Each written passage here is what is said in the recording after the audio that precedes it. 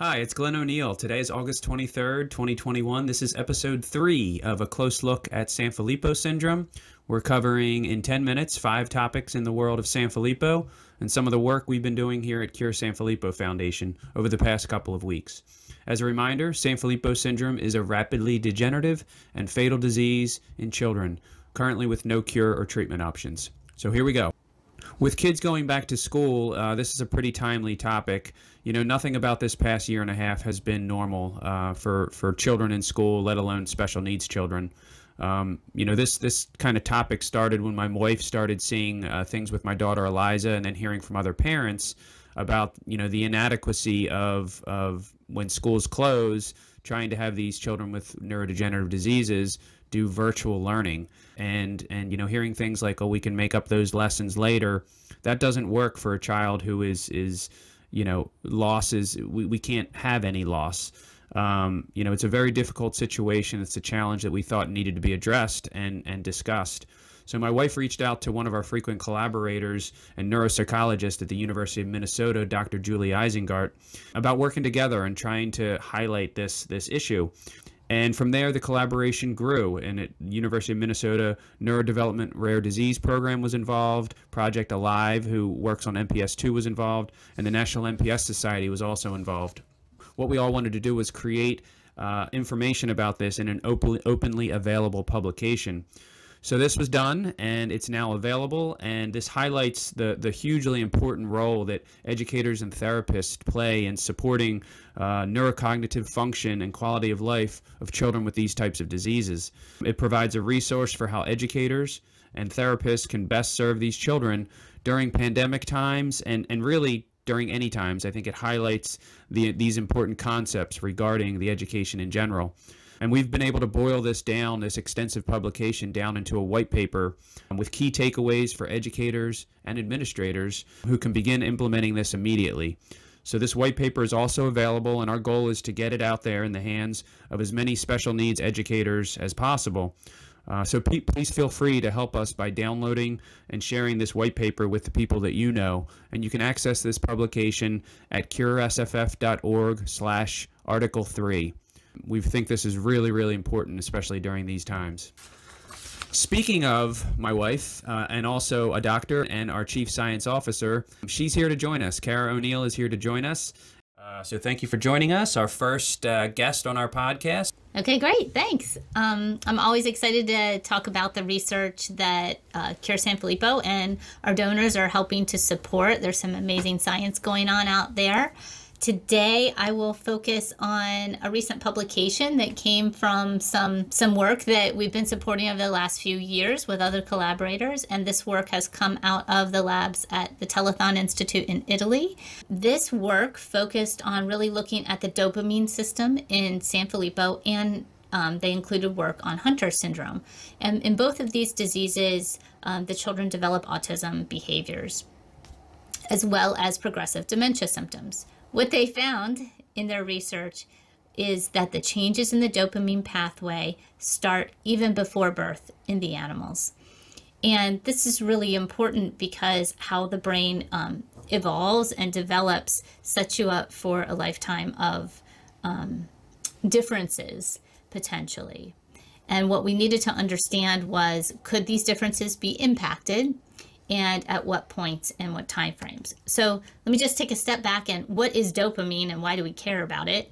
Um, dopamine is a really important neurotransmitter that has effects in the body, in the digestive system, the immune system, your blood vessels, but it also has a very critical role in um, behavior modification and also in how we move, how we walk, how we reach for things. And you may have heard about dopamine when people talk about Parkinson's disease, or even ADHD and other mental health disorders. So it's a really critical neurotransmitter.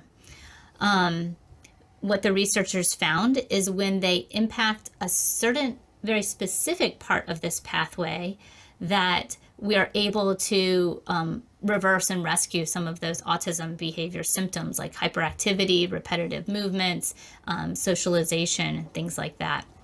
Um, we also know that later on, we see a reversal of that hyper dopamine um, type of setup that happens early in life in the San Sanfilippo animals. Well, later in life, as neurodegeneration progresses, we see a loss of that. So, what we need to understand in this next grant that Cure Sanfilippo donors have helped fund, along with our other collaborators at Sanfilippo Children's Foundation in Australia and Sanfilippo Fighters in Italy. Um, on this next grant, they'll be looking more into that, looking at very specific drugs that will help impact that pathway with a reduced number of side effects that can happen.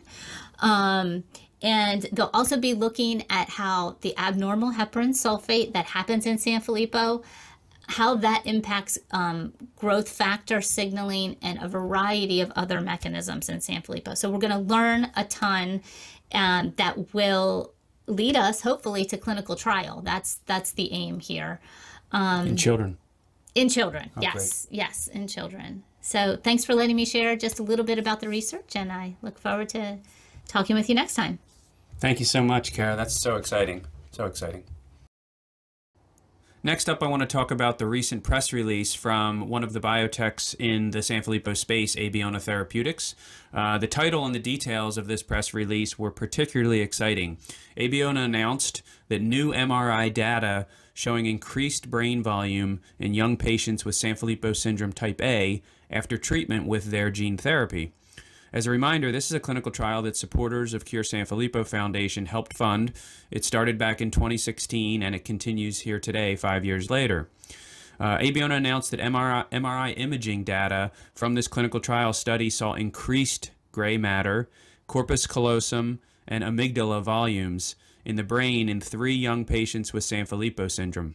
Um, the head of uh, R&D for Abeona was quoted and said, uh, "Brain volume loss is characteristic in children with MPS 3A, and is associated with long-term cognitive and physical disabilities." He went on to say, "The new MRI data shows the potential of gene therapy to increase brain gray matter, corpus callosum, and amygdala volumes, and is consistent with previously reported results." Of a preservation of neurocognitive development in these three young patients in the clinical trial. So this was specific for children that were treated at a very young age, under the age of two, I believe. Um, still, this is a huge breakthrough overall. If these results continue, and we await more information about you know any type of path towards being able to discuss with the FDA uh, approval for this treatment, so that many more children can have access to it. And again, it's because of Foundation support that this trial was able to happen, and it's so exciting to hear these promising results. Um, you can read about this on abeonatherapeutics.com and just look for uh, press releases and click on that. Next, I want to talk about how truly connected the world is becoming. I think we all know this, but you know, we're having families reach out to us now from all over the world, much more than before. They're finding information on the internet, on social media, through searches, and we are glad to hear from them, glad to talk with them, and glad to provide them information and support in any way possible. Uh, just in the past couple of weeks, we've had two families from Russia, uh, parents from France, Switzerland, Kenya, and Egypt uh, have all reached out. And what we do is we get on Zoom calls. Um, we just had several this past week, sometimes with interpreters, and we help them navigate the world of Sanfilippo syndrome and the landscape of Sanfilippo around the world you know, these can be tough discussions, just like with the families uh, of, of here in the United States, but, but often even more so with these families that may be in a country where there aren't clinical trials happening. And, you know, the feeling is that the opportunities may not uh, be the same. So, you know, I, would say overall, uh, the one thing that we continue to hear when talking to these families and what they're looking for is is hope, is some type of hope. Um, you know, not a guarantee. They understand that, uh, but a path to the possibility of helping their child, and, and even if not their child, um, helping the next generation coming. So, uh, you know that that's why this is all important. It's it's a reminder of the work that supporters help happen here at Cure Sanfilippo. You know, we envision an approved and effective treatment is a reality, and it's available to everyone. You know, that's our goal. A day when we can have these calls with the parents and a newly diagnosed family and point them directly to something that can help, you know, no matter where they are around the world. And finally, I'd like to end with some information about Courageous Parents Network uh, and a recent panel I participated in. Courageous Parents Network is an educational platform with incredible resources and support for parents going through the journey of having a child with a terminal illness. Um, I was on a panel called Being the Dad, which specifically focused on the journey's dad's take. Uh, you know, often webinars and podcasts uh, focus on the mom's journey, uh, which for certain, uh, moms are the best. Moms are number one, and they are the greatest. But uh, the dads often take a different emotional path uh, that bears some exploring and some discussion about coping methods for dads. So I was really honored to be asked to be on this. The session was run by a PhD psychologist expert who focuses on fathers. And, you know, I was able to give my thoughts, and I was joined by two other great uh, dad panelists who shared their experiences and perspectives. And also there was a q&a and discussion section and you know some of the attendees were dads who were even further down the road than uh, than myself or the other panelists. And i found their words and what they presented and, and talked about really powerful and really particularly valuable for me. Um, so again why is this important? You know it's because as much as we are focused on research and we're focused on clinical trials and treatments uh, we work closely and we forge friendships with the people the parents. You know, there's so many moms and dads going down this road, this nearly impossible road. Um, so it's important to have resources like Courageous Parents Network to be able to point the parents towards so they can access you know this information no matter where they are on the journey from newly diagnosed to bereaved parents so these are tough tough topics but you know i find the site incredibly helpful and i know many others do you can check out the site at courageousparentsnetwork.org.